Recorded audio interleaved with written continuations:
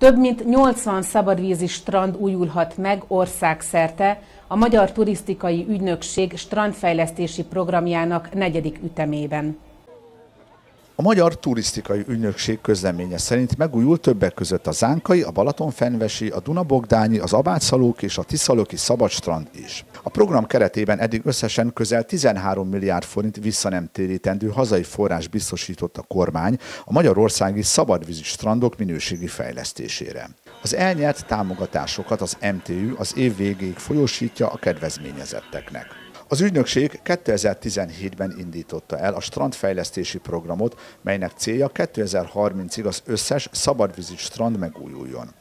Az első ütemben a 2018-as nyári szezonra több mint 30 balatoni település, 55 fizetős strandja jutott 2 milliárd forintos fejlesztési támogatáshoz.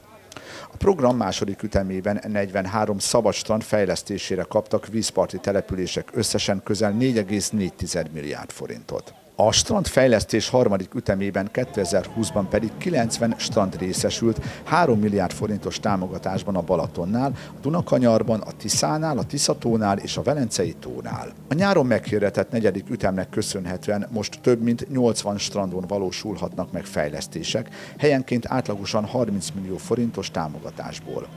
A program keretében eddig közel 13 milliárd forint visszanemtérítendő hazai forrás biztosított a kormány a magyarországi szabadvízi strandok minőségi fejlesztésére.